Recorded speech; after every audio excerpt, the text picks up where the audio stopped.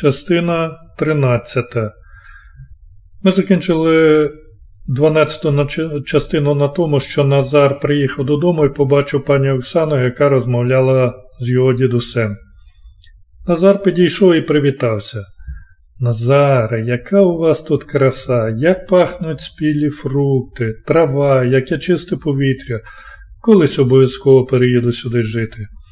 Що вас привело до мене? Перед дідом він спеціально на ви звернувся до гості.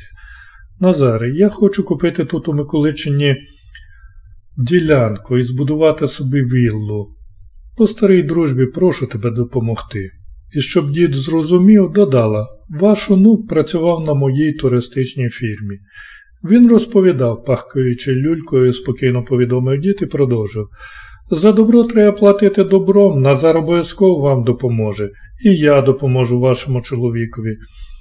Виявляється, гостя розговорилася з дідом і поскаржилася йому, що чоловік хворіє бронхіальною астмою.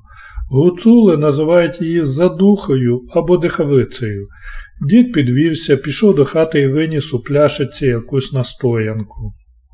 Оксана Васильівна обережно взяла, понюхала і поклала на стіл. Це настій зарніки. Є така дуже гарна і помічна рослинка у Карпатах. У мене вона росте у толоці. З лікувальною метою вживаємо квіти і корінь рослини. Квіти, настояні на спирті, дуже добре гоять рани, розповідав дід. Відвар кореня лікує нервові захворювання, шлунок і кишки. Давня гуцульська легенда розповідає, що Арніка вилікувала самого князя Данила Галицького від задухи, або, як ви кажете, бронхіальної астми. Знахар з далеких Карпат дав князеві трунок, який за 40 днів і ночей поставив його на ноги. Цим ліком якраз і була Арніка. Нехай ваш чоловік поп'є цей настій, так як я скажу, і все буде добре. Дід дуже добре знався на травах. Не одного хворого поставив на ноги, коли медицина уже безсило розводила руками. Найстрашнішою хворобою, якої панічно бояться гуцули, є падачка або епілепсія по-науковому. Вони вважають цю хворобу карою Господньою за якісь гріхи і пов'язують її з нечистою силою, яка проникла у людину. Назар згадав, як перелякався, коли вперше побачив жахливий прояв цієї страшної хвороби. Він навчався тоді у п'ятому класі. Під час одного з уроків у їхнього однокласника Петрика трапився приступ. Вчителька визвала його до дошки, щоб спитати домашнє завдання. Петрик, невисокий білявий хлопчина з дуже блідим лицем, мовчав, потупившись, а потім раптом захрипів, упав на підлогу і ним почала трясти і кидати. Вчителька налякалася, але подумала, що він прикидається, та коли побачила, що це не жарт, нахилилася до хлопчика, намагаючись підняти. У нього падачка, раптом закричав один з хлопчиків. Діти налякано тиснулися по пістіни, а кілька дівчат вибіли з класу. Як потім виявилося, вони помчали за медсестрою. Конвульсії у Петрика продовжувалися, з рота виступила біла піна, він хрипів і задихався. Хлопці, тримайте його, крикнула медсестра, яка забігла до класу остовпілим однокласникам. Треба притиснути ложкою язика, щоб він не задушився. Вона почала робити над тілом хлопчика якісь маніпуляції, і він потихеньку затиск. Медсестра забрала його з собою, а потім через деякий час зайшла до класу і попросила вчительку дати когось з хлопців, щоб той відвів Петрика додому, та доручила це зробити Назарові. Вони йшли по дорозі поруч, а потім Петрусь сумно сказав Тепер усі будуть сміятися наді мною. Я ж не винен, що у мене ця хвороба. Ніхто не посміє кіпкувати над тобою, заперечив Назар, а якщо хтось буде, я швидко дам з ним раду. Назар був у класі вищим на голову від своїх ровесників. Навіть старшокласники його побоювалися, бо був не за роками міцним та сильним. Коли він розповів про цей випадок дідусеві, той задумався, а потім попросив Назара сходити і сказати Петраковій мамі, що прийшла до нього. На подвір'ї загавкала їхня собака наймення Аза. Це була німецька вівчарка, розумна і кмітлива. Дідусь з Назаром вийшли на двір. Василина, так звали матір хворого хлопчика, стояла на подвір'ї і боялася далі йти через собаку. Вона була гарно одягнена, по міському, бо працювала головним бухгалтером в одному з яремчанських санаторіїв. Дід Павло прикрикнув на Азу і запросив жінку до хати. Розпитував про хворобу малого, чи вроджена, чи набута, а так крізь сльози жалілася. Вродився Петрусь здоровим, а потім чи десь налякався, чи якась інша причина стала приводом до цієї страшної хвороби. Що ми з чоловіком тільки не робили, де не були, нічого не допомагає. У мого головного лікаря добрі зв'язки у Києві. Возили туди дитину, пройшов медикаментозний курс лікування. Трохи полегшало, але тепер знову почалися напади. І це незважаючи на те, що ми постійно змушуємо пити призначені столичним лікарем таблетки. Чим ми прогнівили Бога? Єдина дитина. Більше боялися заводити навіть, а раптом народиться з такою ж хворобою. Жінка не витримала і розплакалася. Ви розумна і освічена жінка, сказав дід Павло. Вам може видатися дивним те, що я буду робити, але прошу вас віднесіться до цього з розумінням. Я завтра прийду до вашої господи пополудні, прошу вас чоловіком бути вдома, і малий теж щоб був. Заплакана мати однокласника погодилася, вона була ладна уже на все. Увечері дід поліз на горище, дістав в'язки якихось трав і почав відбирати корінці, присушені листочки та соцвіття. Назар впізнав листя черемхи, білої водяної лілії, корінь Чорнобиля, інших він не знав. Дід охоче розповідав Назарові про цілющі трави і рослини, і Назар швидко все запам'ятовував, бо мав від природи добру пам'ять. Наприклад, про корень Чорнобиля він знав, що його треба викопувати тільки дерев'яною лопатою і пити настої з дерев'яної ложки. Здавалось би, це якісь забобони, але, очевидно, метал нейтралізує якісь його чудодійні властивості. Дід усе акуратно промив, почистив і відібрав необхідні пропорції. Щось варив, щось заливав окропом, одним словом, чаклував над настоєм цілий вечір. Назар добре запам'ятав дідові слова, що хвороба одна не ходить, а веде за собою кілька своїх коліжанок, тобто подруг. Тому треба їх усіх лікувати. Дід Павло поклав приготовлені ліки перед собою, покропив свяченою водою і почав молитися і бити поклони перед образами. На другий день, коли Назар прийшов зі школи, дід почав збиратися. Взяв з собою віск, якісь кілочки, ніж, ножниці, дерев'яний молоточок, мікстуру у пляшці. Пішли до твого друга, сказав дід Павло. Подивимося, що то за хвороба. Вони прийшли на Петрикове подвір'я, батьки уже чекали.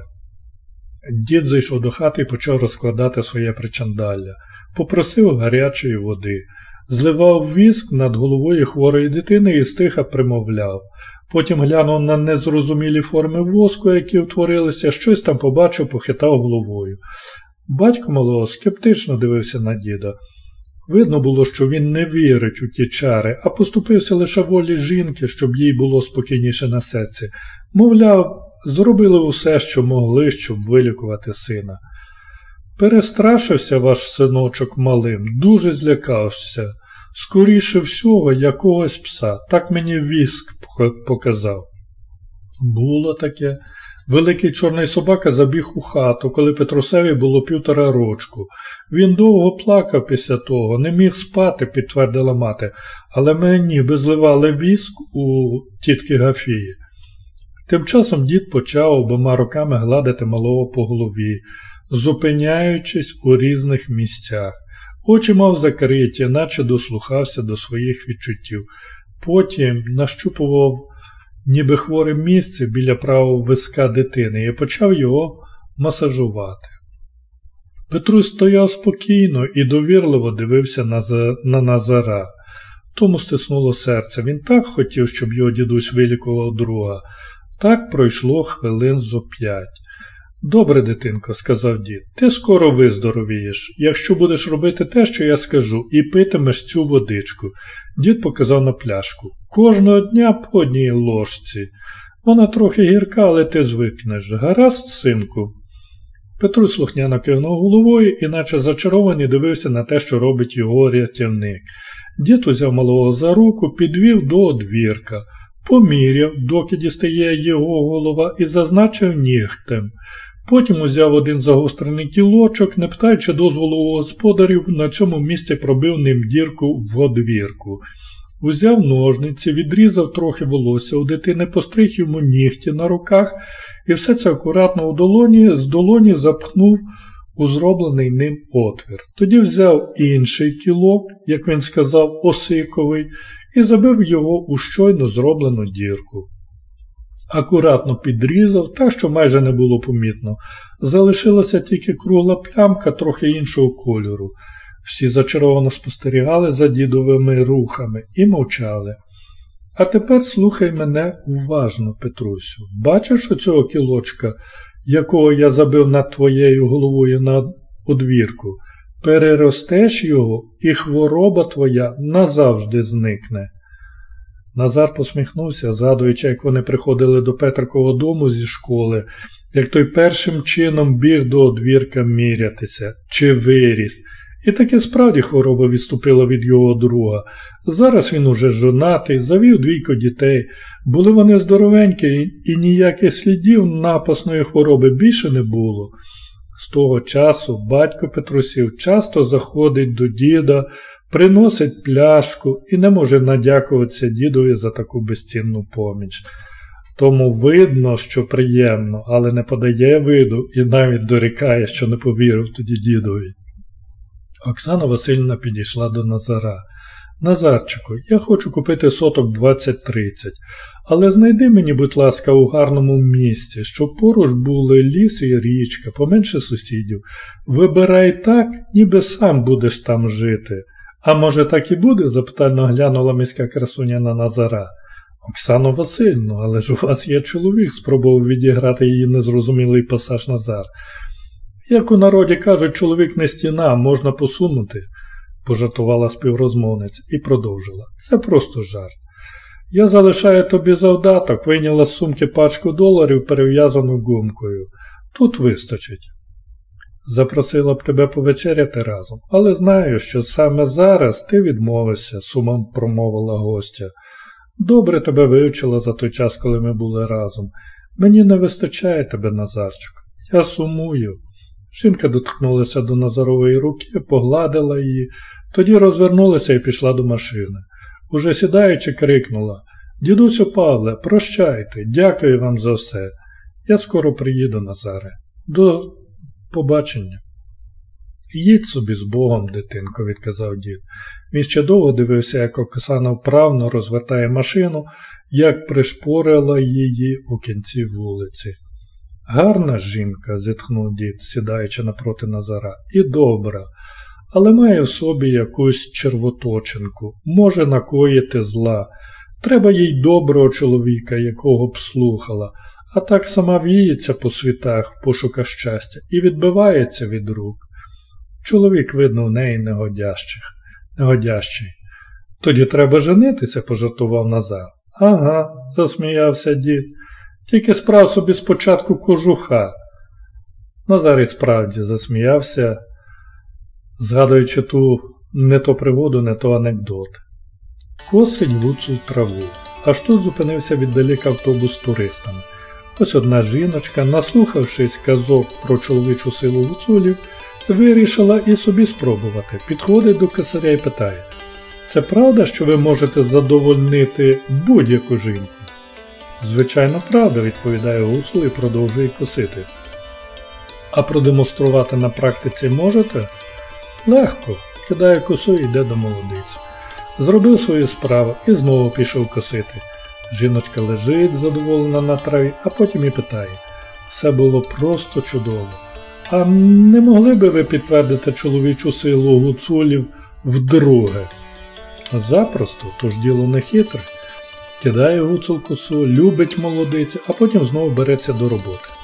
Молодиця лежить щаслива від блаженства, а потім і питає Я все-таки хотіла б ще раз переконатися у вашій силі. Третій раз зможете? Звичайно, зможу, тільки зачекайте хвилинку. повертається до сусідньої гори і кричить Куме, що? А принесіть мені кожуха. Нащо, куме? На дворі ж літо. Куме, та тут така беручка молодичка, що й до зими не скошу. Женись, не заперечив дід, тільки спочатку розберися зі своїми жінками, з Марійкою і з Настею. Назар розповідав дідові про Настю, про те, як врятував її, як водив до дідової хати, вірніше прадідової хати, про те, що подарував їй чугайстра, розповідав так захоплено і щиро, що дід похитав головою. Певно, дівка приворожила онука. У Назара якось не було від дідуся секретів. Більше ріс з ним. Ділився з Малко всім сокровенним, просив поради. Мати часто хворіла, а батько був зайнятий роботою. Бачив, що син росте здоровим і тому не дуже переймався ним. Покладався на діда, казав якщо мене добре виховав, то Назара виведе у люди й поготів. А коли Назар почав будувати своє обійстя недалеко від діда, то перебрався жити у його хату. Тут все було рідне і миле з дитинства, та й місця багато. Мав окремий хід, так що міг прийти на свою половину будь-коли, не будячи старого. Назар таки знайшов гарну ділянку Оксані під забудову. Вона обіцяла невдовзі приїхати і все документально оформити. Знав, що щедро йому віддячить, бо ніколи не шкодувала грошей. Як легко вони їй приходили від чоловіка та від власного бізнесу, так легко й тратила. Була з тих жінок, кого гроші люблять і самі липнуть до рук. Будь-який проект, за який вона бралася, вдавався їй. Не тільки тому, що була розумною та кмітливою, але ще й мала щастя, або, як кажуть, фортуна заглядала в її очі. Далі буде.